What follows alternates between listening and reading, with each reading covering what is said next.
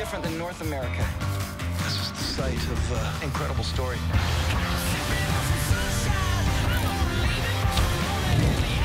I'm here to survive. We got beat up pretty good today. This is gonna be a long night.